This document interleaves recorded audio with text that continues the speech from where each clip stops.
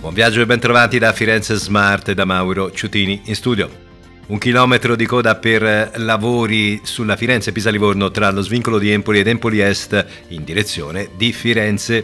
Sempre sulla strada di grande comunicazione, un veicolo in avaria tra l'Interporto Toscano Est e il bivio con la 12 Cole Salvetti in direzione di Firenze. In A11 mezzi in lento movimento tra Montecatini Terme e Chiesina Ozzanese in direzione di Pisa.